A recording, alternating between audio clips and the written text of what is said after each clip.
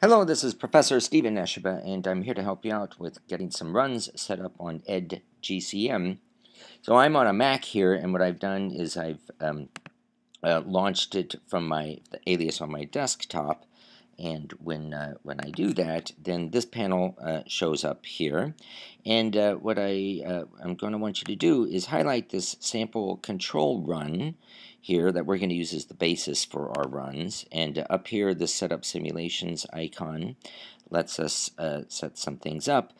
So we don't clobber what's going on in that sample control run. What we're going to do first is do this thing called duplicate.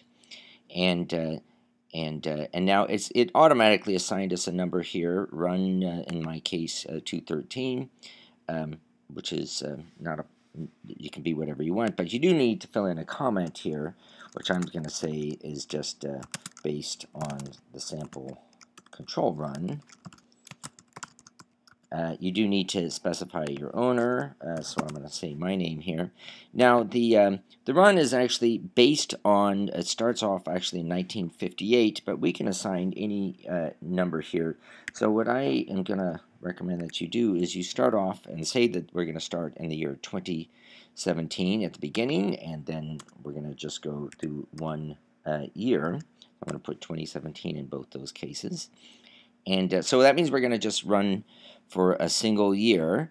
And uh, after that, under the simulation controls, I can uh, click this um, uh, run file. And, uh, and now what's going to happen is it comes up with this window here and it says uh, it, it, it, just runs the first hour just to make sure everything is okay and if everything looks like this in your in your view then you can go ahead and say start the GCM for the whole kit and caboodle and uh, what you're going to see here is that um, it actually starts a month prior to when we said, because we wanted to start on uh, January 1st, 2017.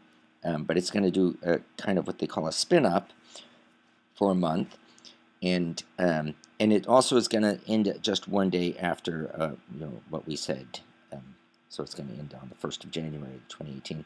As you can see, it's just completed the first month, and now it's going to go to the second month. So this should be uh, pretty fast, and uh, then uh, then we'll pick up on the next.